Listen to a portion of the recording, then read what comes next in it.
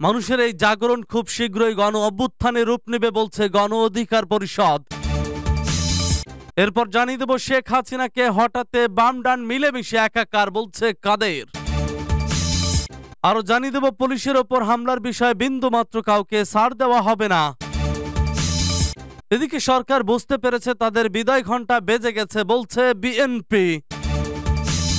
এবং সর্বশেষ জানিয়ে দিব থার্টি ফার্স্ট নাইটকে ঘিরে কঠোর নিরাপত্তা যানবাহন চলাচলের ডিএমপির নির্দেশনা। শুনছিলেন সংবাদ শিরোনাম এখন বিস্তারিত, তবে তার আগে অনুরোধ থাকবে, ভিডিওটিতে একটি লাইক এবং কমেন্টস করে জানিয়ে দিন। আজকের এই ভিডিও সম্পর্কে আপনার মূল্যবান মতামত। আর হ্যাঁ বন্ধুরা, অবশ্যই ঝটপট করে এই ভিডিওটি আপনার বন্ধুদের মাঝে শেয়ার করে ছড়িয়ে দিন। আর জানিয়ে দিন, আপনি কোন জেলা থেকে বা কোথা থেকে আমাদের সংবাদ শুনছেন এবং দেখছেন। ভিওয়ার্স আপনি যদি আমাদের এই চ্যানেলটিতে নতুন হয়ে থাকেন, তাহলে দেখতে দেখতে এই চ্যানেলটি একটি সাবস্ক্রাইব করে এবং এই ভিডিওটি ফেসবুকে দেখে থাকলে ফলো দিয়ে সাথেই থাকুন। মানুষের এই জাগরণ খুব শীঘ্রই গণ অভ্যুত্থানে রূপ নেবে বলছে গণ অধিকার পরিষদ। গণ অধিকার পরিষদের নেতারা বলেছেন, ভোট ডাকাতির চার বছর আজ। বাংলাদেশের ইতিহাসে একটি কলঙ্কিত দিন। আজকে ভোট ডাকাতির বিরুদ্ধে মানুষ জেগে উঠেছে। মানুষের এই জাগরণ খুব শীঘ্রই গণ অভ্যুত্থানে রূপ নেবে। শুক্রবার রাজধানীতে গণ অধিকার পরিষদের পল্টনস্থ কেন্দ্রীয় কার্যালয়ের নিচ থেকে কফিন বিক্ষোভ মিছিল সমাবেশে বক্তারা এসব কথা বলেন। বক্তারা বলেন, সমাবেশে গণ অধিকার পরিষদের যুগ্ম আহ্বায়ক মোহাম্মদ রাশেদ খান বলেন চোদ্দ সালে কোনো ভোট হয়নি। আঠারোতেও হয়নি, চোদ্দ সালে বিনা প্রতিদ্বন্দ্বিতায় একশো তিপ্পান্ন জন এমপি হয়েছে। আঠারো সালে ভোট কেন্দ্রে দখল হয়েছে, ধানের শীষ প্রতীকে ভোট দেওয়ায় গৃহবধূ ধর্ষণের ঘটনা পর্যন্ত ঘটেছে। তারা আবার চব্বিশ সালে একইভাবে ভোটাধিকার হরণ করতে চায়। ওবায়দুল কাদের সাহেব বলেছেন, খেলা হবে, কিন্তু দলীয় সরকারের অধীনে কিসের খেলা? আর খেলার জন্য তো নিজেরা নামছেন না। পুলিশকে জনগণের বিরুদ্ধে নামিয়ে দিচ্ছেন। গণ অধিকার পরিষদের যুগ্ম আহ্বায়ক ফারুক হাসান বলেন, আজকে ভোট ডাকাতি চার বছর। বাংলাদেশের ইতিহাসে একটি কলঙ্কিত দিন। আজকে ভোট ডাকাতির বিরুদ্ধে মানুষ জেগে উঠেছে। মানুষের এই জাগরণ খুব শীঘ্রই গণ অভ্যুত্থানে রূপ নেবে। মানুষের এই জাগরণ অবৈধ সরকার ভয় পেয়ে দমানোর চেষ্টা যদি করে, তাহলে সরকার নিজের পায়ে নিজেই কোড়াল মারবে। আমাদের এই আন্দোলন চলবে। যুগ্ম আহ্বায়ক হাসান আল মাহমুদ মামুন বলেন, পৃথিবীর ইতিহাসে আজকের এই দিনে তিরিশ ডিসেম্বর রাতের আধারে জনগণের ভোট চুরি করে দুই হাজার আঠারো সালে আওয়ামী লীগ ক্ষমতায় আসে। দুই হাজার চোদ্দ সালে এবং দুই হাজার আঠারো সালের ভোট চুরির মাধ্যমে বাংলাদেশের মানুষের ভোটের অধিকার হরণ করেছে। এদেশের মানুষের ভোটের অধিকার ফিরিয়ে আনতে এবং ন্যায় বিচার প্রতিষ্ঠায় গণ অধিকার পরিষদ অপরাধ বিরোধী রাজনৈতিক দলগুলোর মতো রাজপথে থাকবে। যে কোনো মূল্যে নিরপেক্ষ সরকার এবং জনগণের ভোটাধিকার আদায় আমাদের প্রধান লক্ষ্য। গণ অধিকার পরিষদের পল্টনস্থ কেন্দ্রীয় কার্যালয়ের নিচ থেকে একটি কফিন মিছিল শুরু করে। পল্টন মোড় ও নাইটিঙ্গেল মোড় হয়ে বিজয়নগর পানির ট্যাঙ্কির মোড়ে এসে শেষ হয়। যুগ্ম সদস্য সচিব আতাউল্লাহ বলেন, নব্বই দশকে আমরা যারা জন্মগ্রহণ করেছি, বর্তমানে তরুণ আমরা কোনো সুষ্ঠু নির্বাচন হতে দেখি নাই। বাহাত্তরের সংবিধানে সুষ্ঠু নির্বাচন ব্যবস্থা রাখা হয়নি। এ সংবিধান সংস্কার করে স্থায়ী নির্বাচনী ব্যবস্থা প্রতিষ্ঠিত করতে হবে। জনগণের ভোটাধিকার প্রতিষ্ঠিত করতে হবে। সংবিধানের সত্তর অনুচ্ছেদ সংস্কার করে সংসদের সদস্যদের স্বাধীন মত প্রকাশ করার সুযোগ সৃষ্টি করতে হবে। গণ অধিকার পরিষদের যুগ্ম আহ্বায়ক মাহফুজুর রহমান খানের সঞ্চালনায় আরও বক্তব্য রাখেন, গণ অধিকার পরিষদের যুগ্ম আহ্বায়ক মোহাম্মদ সোহরাব হোসেন, আবু হানিফ শাকিল উজ্জামান সাদ্দাম হোসেন ডক্টর মালিক ফরাজি, যুগ্ম সদস্য সচিব আব্দুস জাহের, সদস্য তোফাজ্জুল হোসেন, ছাত্র অধিকার পরিষদের সভাপতি বিন ইয়ামিন মোল্লা, যুব অধিকার পরিষদের সাধারণ সম্পাদক নাদিম হাসান, শ্রমিক অধিকার পরিষদের সভাপতি আব্দুর রহমান প্রমুখ। শেখ হাসিনাকে হঠাতে বাম ডান মিলেমিশে একাকার বলছে কাদের। সড়ক পরিবহন ও সেতু মন্ত্রী ওবায়দুল কাদের বলেছেন, বাংলাদেশের উন্নয়নকে বাধাগ্রস্ত করতে বঙ্গবন্ধু কন্যা শেখ হাসিনাকে হটানোর জন্য শেখ হাসিনাকে হটানোর জন্য অতি বাম অতি ডান মিলে মিশে একাকার হয়েছে। তাদের লক্ষ্য একটাই, হটাও শেখ হাসিনা। তারা এক হয়ে শেখ হাসিনার বিরুদ্ধে ষড়যন্ত্র করলেও অতি বাম, অতি ডান ইকুইল টু শূন্য। শনিবার দুপুরে ফেনী গার্লস ক্যাডেট কলেজ ক্যাম্পাসে সাংবাদিকদের সঙ্গে মত বিনিময়ে তিনি এসব কথা বলেন। তিনি বলেন, আন্দোলনের নামে মাঠে সংঘাত করে লাভ নেই। নির্বাচন হবে নির্বাচন কমিশনের অধীনে। সরকার শুধু রুটিন ওয়ার্ক করবে। নির্বাচনে সরকারের কোনো প্রকার হস্তক্ষেপ থাকবে না। তত্ত্বাবধায়ক সরকারের কোনো সুযোগ নেই। তিনি বলেন, বিএনপি জামায়াতের উস্কানিমূলক অপতৎপরতা সরকার পতনের দিবা স্বপ্ন সফল হবে না। আমরা বিশ্বাস করি বিশ্বাস করি তারা নির্বাচনে আসবে, সব নিবন্ধিত দলকে আমরা স্বাগত জানাই। তিনি আরও বলেন, আমরা বৈশ্বিক পরিস্থিতির প্রতিক্রিয়ার সম্পর্কে বলেছি। সম্পদকে সম্ভাবনার রূপ দিতে কাজ করছি। আমাদের সামনে অনেক চ্যালেঞ্জ। বিশ্ব সংকটকালে জ্বালানি ডলার রিজার্ভ নিয়ে আমরা ভাবছি। তিনি বলেন, পাকিস্তানের রিজার্ভ নয় বিলিয়ন ডলারে নেমে এসেছে। সে তুলনায় আল্লাহর রহমাতে ভালো আছি, সংকটেও দিশেহারা হয়নি, আমরা ঘুরে দাঁড়াতে শুরু করেছি। লোডশেডিং ও সংকট সরকার সুন্দরভাবে কাটিয়ে উঠেছে, তার প্রমাণ মানুষ নির্বিঘ্নে বিশ্বকাপ দেখেছে, কোন ধরনের প্রতিবাদ দেখেনি। জিনিসপত্রের দাম কমেছে আরও কমবে, জ্বালানি সংকট মিটছে, অনেক উন্নত দেশ থেকেও আমরা ভালো আছি। অনেক দেশ জীবন জীবিকার কঠিন লড়াই করছে, সে হিসেবে বাংলাদেশ খুব ভালো আছে। বিরোধী দলের আন্দোলন মোকাবেলা করছি ঠান্ডা মাথায়, আমরা অশান্তি চাই না, খারাপ পরিস্থিতি উস্কানি দিতে চাই না। যারা আন্দোলনের নামে সংঘাত করতে চেয়েছে, তাদের প্রতিরোধের জন্য আমরা সতর্ক পাহারায় ছিলাম। আমরা আক্রমণ করব না, আক্রান্ত হলে পরিস্থিতি বলে দিবে কি করতে হবে। গতকালের বিএনপি সহ বিভিন্ন দলের গণমিছিলের বিষয়ে তিনি বলেন, তেত্রিশ দল গণমিছিল করেছে। বেশিরভাগের ঢাল নেই, তলোয়ার নেই, নিধিরাম সর্দার। তিনি আরও বলেন, নির্বাচন নিরপেক্ষ হওয়ার বিষয়ে মাথা ব্যথার কারণ নেই। ঠিক সময়ে নির্বাচন কমিশনের অধীনেই হবে। আমরা পদ্মা সেতু মেট্রো রেল করেছি। এগুলোর উপকার ভোগী দেশের জনগণ দেশ বিরোধী অপশক্তি এতেও অখুশি। তারা উন্নয়নের এসব যজ্ঞেও দুর্নীতির কথা বলছে। কাদের বলেন, কালো মেঘ কেটে যাবে। সবার শুভ বুদ্ধির উদয় হবে। কূটনীতিকদের বিষয়ে তিনি বলেন, জেনেভা কনভেনশনের আলোকে কূটনীতিকরা দেশের অভ্যন্তরীণ বিষয়ে মাথা ঘামাতে পারেন না।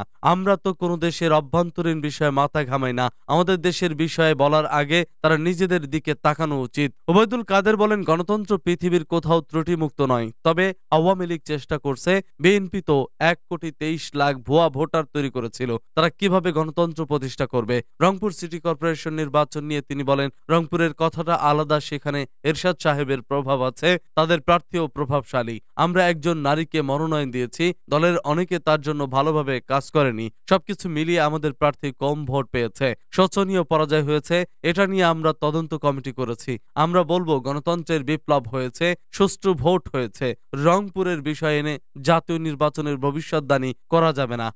হারজিত থাকবে, এটা ভোটের প্রক্রিয়া। হঠাৎ মাঠে জামায়াতের সক্রিয়তার বিষয়ে তিনি বলেন, সহিংসতা হলে আইন প্রয়োগকারী সংস্থার জবাব দেবে। তারা চুপ করে বসে থাকবে না। সর্বশেষ সুবাইদুল কাদের বলেন, এখন সরকারের এজেন্ডা একটাই, মানুষকে বাঁচানো, বৈশ্বিক সংকট মোকাবেলা করে দেশকে এগিয়ে নেওয়া। এ সময় উপস্থিত ছিলেন ফেনী দুই আসনের সংসদ সদস্য নিজামুদ্দিন হাজারি, ফেনী জেলা প্রশাসক আবু সেলিম মাহমুদ উল হাসান, পুলিশ সুপার জাকির হাসান, ফেনী পৌরসভার মেয়র নজরুল ইসলাম স্বপন মিয়াজি ও ফেনী সদর উপজেলা চেয়ারম্যান সুসেন চন্দ্রশীল। শনিবার দুপুর সাড়ে বারোটার দিকে ওবায়দুল কাদের হেলিকপ্টার যোগে ফেনী গার্লস ক্যাডেট কলেজ অবতরণ করেন। পরে সাংবাদিকদের সঙ্গে মত বিনিময় করে ফেনী জেলা আওয়ামী লীগের নেতাকর্মীদের সংবর্ধনা নিয়ে নোয়াখালীর উদ্দেশ্যে রওনা করেন। পুলিশের ওপর হামলার বিষয়ে বিন্দুমাত্র কাউকে ছাড় দেওয়া হবে না। রাজধানীতে পুলিশ সদস্যদের ওপর জামায়াতে ইসলামী নেতাকর্মীদের হামলার ঘটনায় কাউকে বিন্দুমাত্র ছাড় দেওয়া হবে না বলে জানিয়েছেন ঢাকা মেট্রোপলিটন পুলিশের কমিশনার খন্দকার গোলাম ফারুক। শনিবার DMP media centre thirty first night উপলক্ষে আয়োজিত সংবাদ সম্মেলনে সাংবাদিকদের এক প্রশ্নের জবাবে তিনি একথা জানান। ডিএমপি কমিশনার বলেন, জামায়াতে ইসলামী পুলিশের কাছ থেকে গণমিছিলের অনুমতি নেয়নি। আমরা বিষয়টি খুব গুরুত্ব সহকারে নিয়েছি। যেহেতু তারা বিনা অনুমোদনের একটা মিছিল বের করেছে এবং পুলিশের ওপর হামলা করেছে। তিনি বলেন, সিনিয়র পুলিশ কর্মকর্তা সহ আরও পুলিশ সদস্য আহত হয়ে হাসপাতালে ভর্তি রয়েছেন।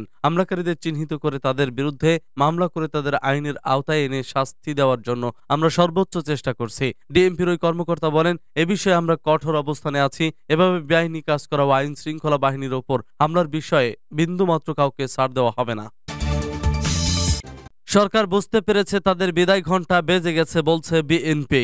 মেট্রো রেলের নির্মাণ কাজ সম্পন্ন হওয়ার পূর্বেই মাঝপথে তাড়াহুড়ো করে উদ্বোধন নিয়ে জনগণের মধ্যে সন্দেহের দানা বেঁধেছে বলে জানিয়েছে বিএনপি। শনিবার এক সংবাদ সম্মেলনে দলটির দপ্তরে দায়িত্বপ্রাপ্ত সাংগঠনিক সম্পাদক সৈয়দ ইমরান সালে প্রিন্স বলেন, বন্দুকের মুখে জিম্মি করে চোদ্দ বছর ধরে জোর করে ক্ষমতায় থাকা বিনা ভোটের সরকার বুঝতে পেরেছে তাদের বিদায় ঘণ্টা বেজে গেছে।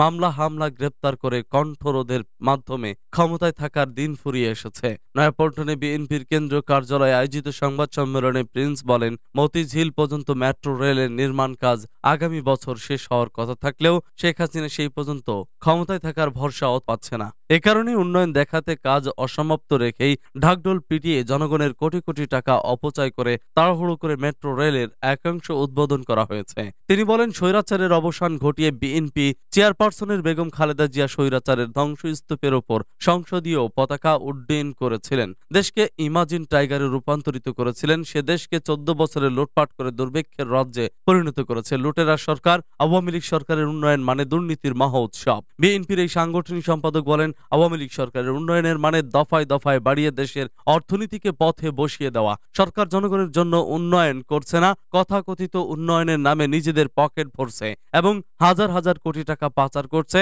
সেখানে সাধারণ জনগণের কোনো উন্নয়ন নেই। ইমরান সালে প্রিন্স বলেন, গতকাল নয়াপল্টনের গণমিছিলে আসার পথে এবং মিছিল থেকে ফেরার পথে ঢাকা মহানগর উত্তর বিএনপির অঙ্গ সহযোগী সংগঠনের ষোলো জন নেতাকর্মীকে পুলিশ গ্রেপ্তার করেছে। এই গণমিছিলকে কেন্দ্র করে গত এক সপ্তাহে ঢাকা মহানগর উত্তর বিএনপির একুশ জন নেতাকর্মী গ্রেপ্তার করা হয়েছে। সংবাদ সম্মেলনে উপস্থিত ছিলেন বিএনপির সাংগঠনিক সম্পাদক আব্দুল সালাম আজাদ, স্বেচ্ছাসেবক বিষয়ক সম্পাদক মের শরফত আলী শফু, স্বনির্ভর বিষয়ক সম্পাদক শিরিন সুলতানা ও স্বেচ্ছাসেবক দলের সাবেক সভাপতি মুস্তাফিজুর রহমান প্রমুখ।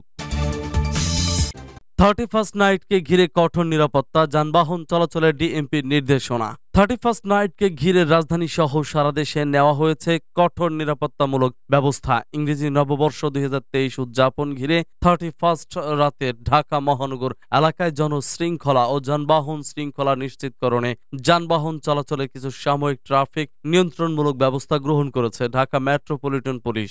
আগেভাগেই আইন শৃঙ্খলা ও আনুষঙ্গিক বিষয় সংক্রান্ত সভায় স্বরাষ্ট্রমন্ত্রী আসাদুজ্জামান খান কামাল বলেছেন, থার্টি ফার্স্ট নাইটকে ঘিরে মাদকের অপব্যবহার রোধে আগামী একত্রিশে ডিসেম্বর সন্ধ্যা ছয়টা থেকে এক জানুয়ারি তেইশ সন্ধ্যা ছয়টা পর্যন্ত চব্বিশ ঘণ্টা বার বন্ধ থাকবে। এদিন কোথাও কোনো উন্মুক্ত কনসার্ট আয়োজন করা যাবে না। তবে মহানগর পুলিশের অনুমতি নিয়ে কনসার্ট করা যাবে, রাস্তায় যানজট করা যাবে না। কেউ অবৈধভাবে মাদক বিক্রি করতে না পারেন, সেই ব্যবস্থা রাখা হবে। থার্টি ফার্স্ট নাইটে আতসবাজি ভুবু জেলা পটকা না ফোটাতে আমরা অনুরোধ রাখছি। এগুলো ফুটিয়ে জনজীবনে আতঙ্ক সৃষ্টি না করতে বলা হয়েছে।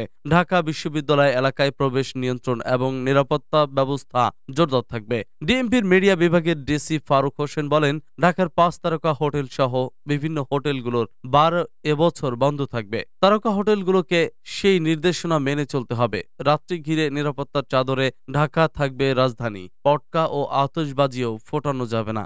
নিষিদ্ধ থাকছে প্রকাশ্য অস্ত্র বহন, বেপরোয়া রেসিং নিয়ন্ত্রণে মোড়ে মোড়ে থাকবে চেকপোস্ট একইভাবে ঢাকা বিশ্ববিদ্যালয় এলাকায়ও প্রবেশে কড়াকড়ি থাকবে। এদিকে গত বৃহস্পতিবার রাতে গুলশান ট্রাফিক বিভাগের পক্ষ থেকে এক নির্দেশনায় বলা হয়েছে, একত্রিশে ডিসেম্বর রাত আটটা থেকে এক জানুয়ারি ভোর পাঁচটা পর্যন্ত গুলশান বরানী ও বাড়িধারা এলাকায় যানবাহন যোগে প্রবেশের জন্য কামাল, আতাতুর্ক এভিনিউ ও মহাখালী আমতলী ক্রসিং ব্যবহার করা যাবে। রাত আটটা থেকে গুলশান বরানী ও বাড়িধারা এলাকায় প্রবেশের ক্ষেত্রে মহাখালী এলাকা ও ফিনিক্স রোড ক্রসিং বরানী এগারো নম্বর রোড চেয়ারম্যান বাড়ি মোড়, Dhaka gate, shooting club, Badda ring road, DOHS, Baridhara United, হাসপাতাল ক্রসিং ও নতুন বাজার ক্রসিং ব্যবহার করা যাবে না। তবে ওই এলাকা থেকে বের হওয়ার জন্য এসব ক্রসিং ব্যবহার করা যাবে। এছাড়াও একুশটি পয়েন্ট ডাইভারশন চলবে। সেগুলো হলো Phoenix crossing, Shanta crossing, Bottola crossing, GMG মোড়, প্রতন আড়ং crossing, Niketan crossing, police plaza crossing,